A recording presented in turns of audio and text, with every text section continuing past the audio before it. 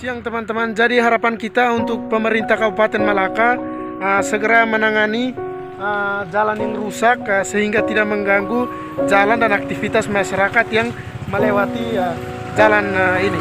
Oke, terima kasih. Merdeka.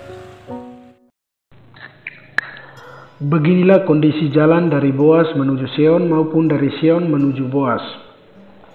Kecamatan Kubalima Timur, Kabupaten Malaka. Jalan di daerah ini sangat memprihatinkan karena banyaknya lubang yang ada di ruas jalan, sehingga menyulitkan para pengguna jalan saat melewati. Hujan dengan intensitas tinggi mengakibatkan ruas jalan di sepanjang jalur utama Boas menuju Seon maupun Seon menuju Boas banyak yang rusak. Seringkali terjadi hal yang tidak diinginkan oleh pengguna jalan, seperti terperosok karena menghindari, menghindari jalan yang berlubang.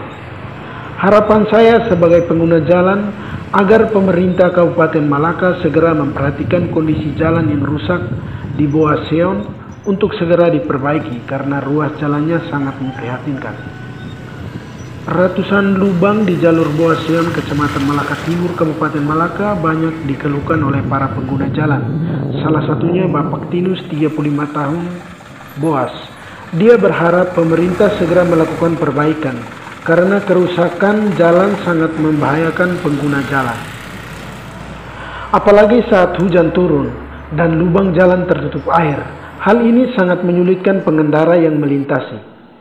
Himbauan untuk para pengguna jalan yang melintasi jalan ini agar hati-hati karena kondisi jalan yang sangat rusak dapat mengakibatkan hal yang tidak diinginkan.